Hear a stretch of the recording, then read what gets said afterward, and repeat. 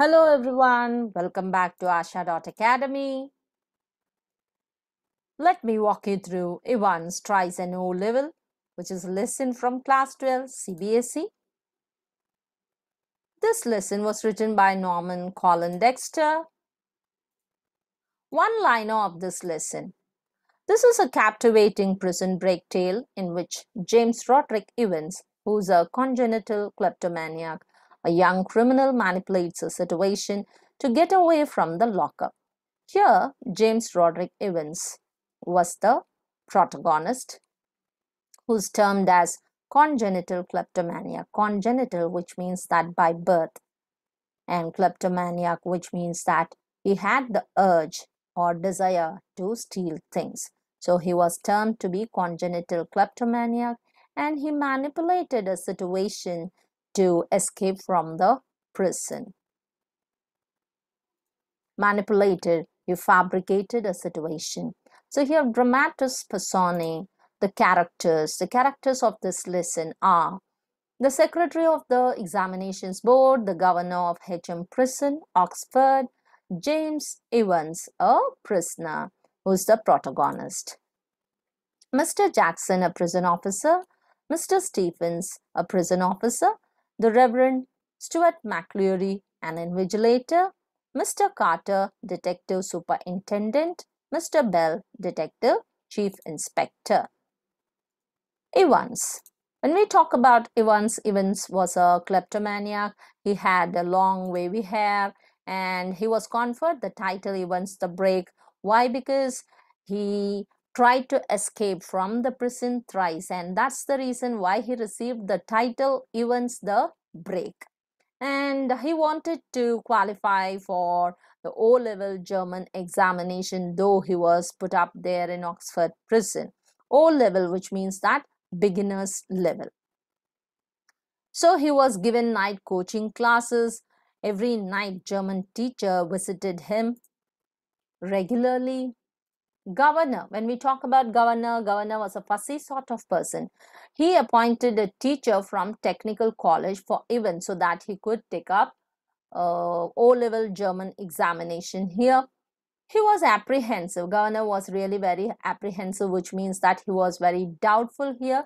Why? Because in the pretext of taking examination Evans may escape the prison cell. That's what his idea was Governor was duty conscious, and that's the reason why he installed, why he set the microphone uh, in the cell of Evans. Governor knew little German, and that is how he decoded Evans' message finally. That is at the end of the lesson. He instructed officers to guide Evans. He was credulous, credulous here, which means that he believed everyone immediately. He trusted officers. He even trusted injured McLeery to accompany Carter so that he could help Carter to trace out Evans. Even in the final act, you could see Governor how he allowed Evans to be carried in a prison van in front of his eyes. McLeery. McLeery, he, here he was a parson at St. Ma uh, Mary Mags. He was sent to Oxford prison. He was supposed to act as a proctor. Proctor, which means that invigilator. Actually, he went to Oxford prison to, to be an invigilator for Evans O-level uh, German examination. He had a short, choppy haircut and wore a clerical shirt and collar, glasses and a black long coat. He was from Broad Street. McLeery was impersonated by one of Evans' friends. Children, you need to understand that the one who came to invigilate Evans was not a real McLeery at all. He was one of Evans' friends here. He was made hostage, that is, real McLeery was made hostage by Evans' friends. And Jackson, Jackson here, he was a senior officer. He had a string of Second World War medals on his decorated on his left side chest and he removed nail scissors and nail file from Evans' cell there and he loathed Evans' wavy hair. Loathed, which means that hated Evans' wavy hair. But anyways, he allowed Evans to have bobble hat. He frisked McLeery. He removed paper knife from Mac- McLeery. On top of it, he insulted McLeery for having semi-inflated rubber ring by asking him whether he was uh, for invigilation or for swimming class. Stephens. Stephens was a newly recruited uh, officer.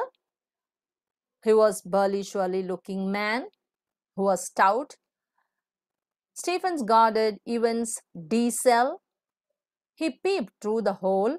Before that, he was causing disruption.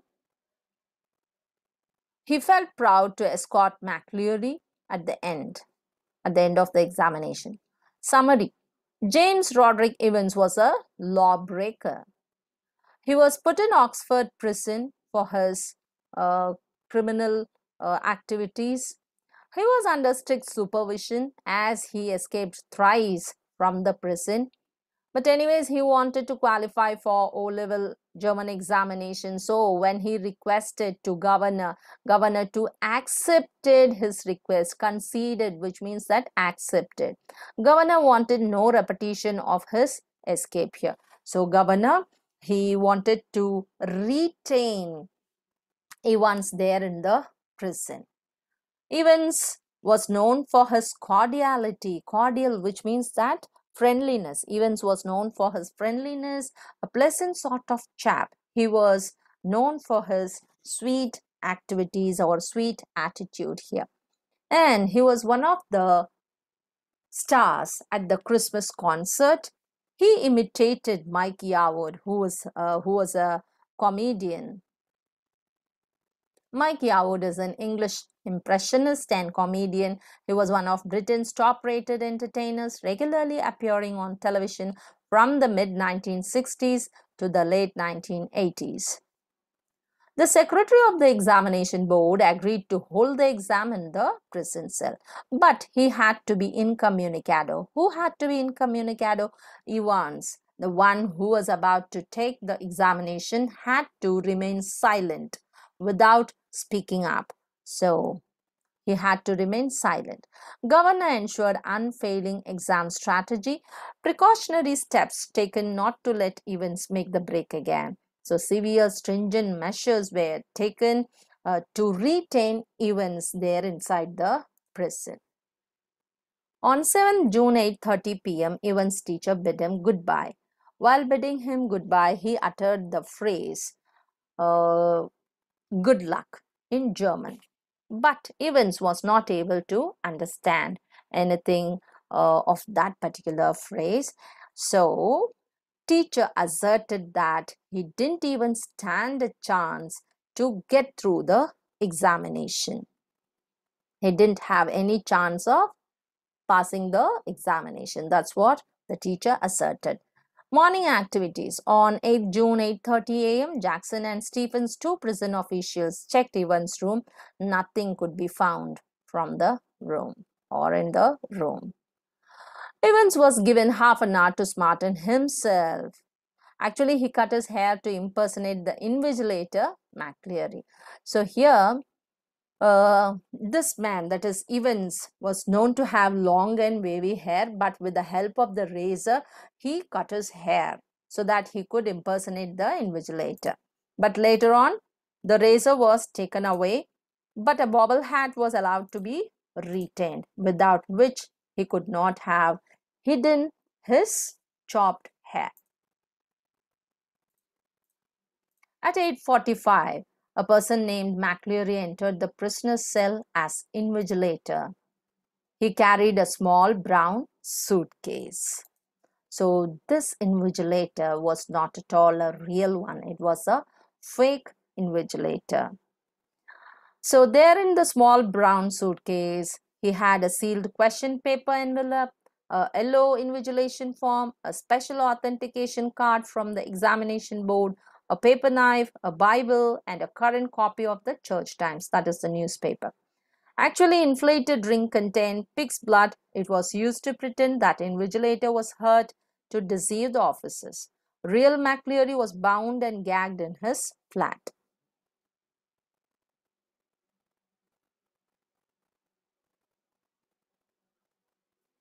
Jackson frisked Evans' clothes. Listening device was installed. Governor wanted to listen to each sound in the prisoner's cell. Strict vigilance was done by Jackson and Stephens. During the examination, actually it was for two hours. The examination was meant to be meant to be happen for two hours. It was scheduled to start at 9:15 a.m. At 9:10, governor switched on the listening device. McLeery instructed Evans to fill in the answer sheet with index number 313 and center number 271. Children, you need to understand with these clues that is index number and center number, the governor was able to decode Evans' message which was left there in the question paper. Evans didn't want Stephens in examination cell. So governor through Jackson informed him to be out of the cell. Actually, the examination had to start at 9.15, but for some reason, that is because of um, Stephens present there, presence there, it took some time to start. So about, nearly about 9.25, it started. At 9.40, assistant secretary rang and asked to make some correction in question paper. Words like Zum Golden and Lowen in place of Zum Goldin Lowen. And then the magistrate's court, they needed a prison van and a couple of prison officers remand case. And soon after the very first call at 9.40, again, the governor received another call that is from the magistrate's court. And this was the Hook's call. Evans' friends made use of this vehicle at the end. Children, you need to be very careful about these details. Stephens frequently peeped through the hole. McLeery reading the newspaper with his hand holding the back of the collar. At 10.51 a.m., Stephens noticed a blanket draped around Evans' shoulder. Three minutes before examination, Stephens received a call. Actually, it was not from the governor at all. Again, it was a hoax call. At 11.25, exam got over. And now this is the battle of wits between Evans and the officers. McLeery was escorted by Stephens. His accent seemed broader and he seemed slimmer in long overcoat. And Stephens wanted to give a last look at Evans. And then he was shocked by looking at the man. That man was sprawled back in Evans' chair, blood was oozing, and McLeery was suspected to be hit. McLeery showed a photocopied sheet superimposed over the last page of the question paper. Evans had been instructed how to start action three minutes before the final moment of the exam.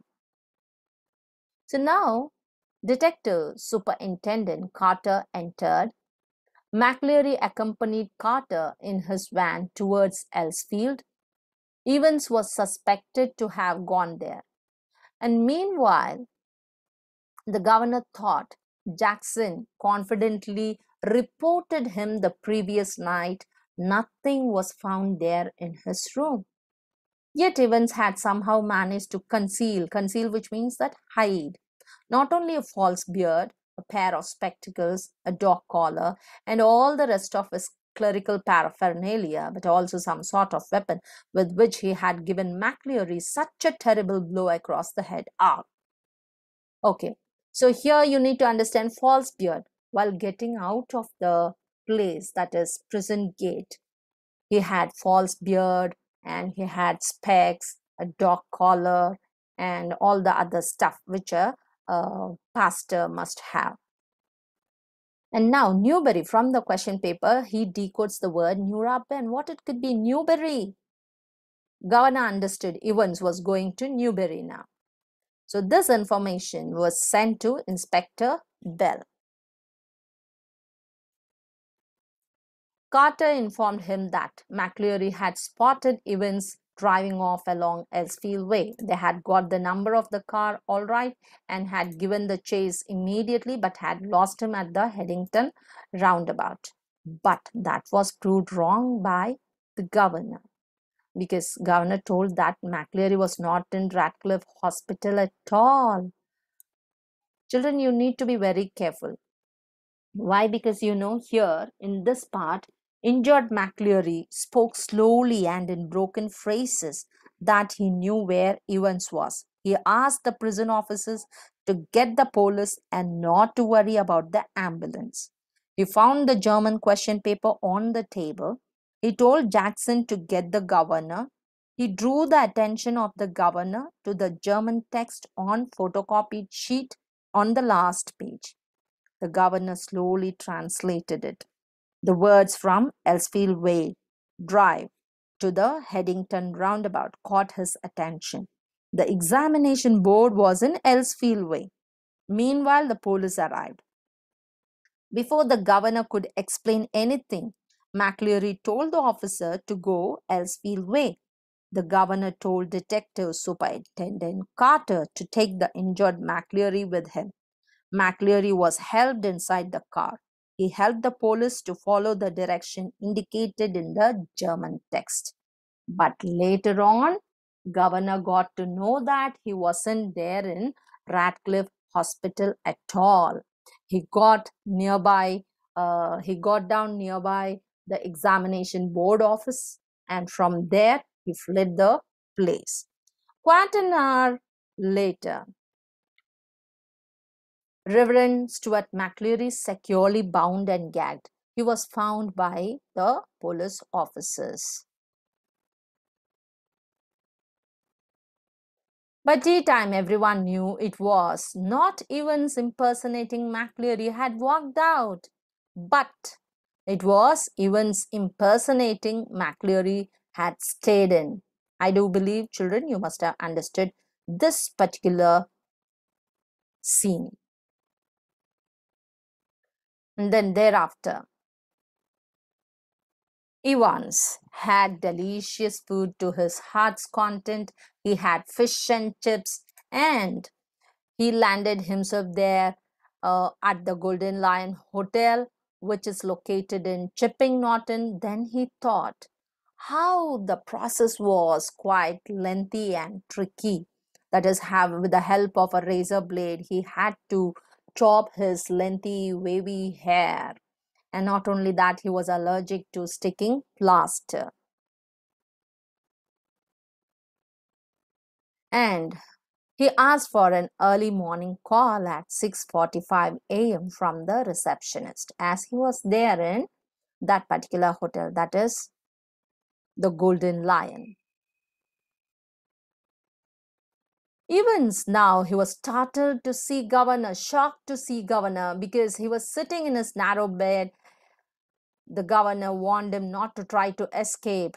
Governor disclosed, revealed how he had reached there with the help of correction slip which had exposed him. And not only that the clues like index number 313 and center number 271 when he put it together he got the place called middle of chipping norton. Middle of chipping norton uh, with the help of an ordnance survey map for oxfordshire he found out this particular place. And that is how he traced events that he would be there at the hotel called the golden lion there were many golden lion hotels but this particular hotel just because of the index number and center number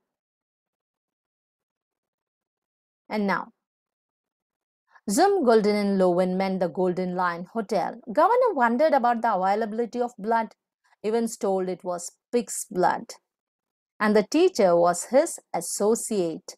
So he was one of his friends who entered or who visited Evans regularly to teach him German. Van arrived to take away Evans and he was handcuffed. Again, children, you need to be very careful who could be uh, the officer to handcuff him.